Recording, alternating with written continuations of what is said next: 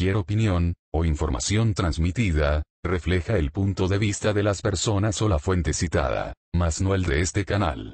No cabe duda que César Bono salió más listo, aparecerá en Televisa y TV Azteca al mismo tiempo, el actor será visto por el público de ambas televisoras. Al parecer el actor César Bono salió más listo que muchos, pues aparecerá en Televisa y TV Azteca al mismo tiempo y en diferentes proyectos.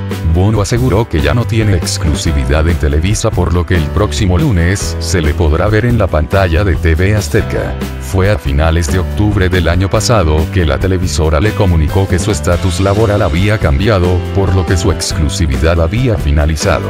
Lo único que me dolió fue haber perdido una oportunidad en Los Ángeles y en una serie de HBO. Dijo el actor. Sin embargo, en noviembre pasado comenzó a grabar en la televisora de la Jusco en la telenovela Tres Familias. En entrevista comentó, yo trabajé con Joshua Mintz, y muchos otros compañeros de Televisa ahora están en televisión azteca y eso fue una de las cosas que me convencieron de estar aquí señaló Bono, quien aseguró que fue cuestión de suerte el poder incorporarse a las filas de la televisora. Y aunque César Bono ahora estará en Azteca, seguirá teniendo presencia en Televisa, pues la serie Vecinos se sigue transmitiendo en la televisora de San Ángel. Suscríbete para más videos.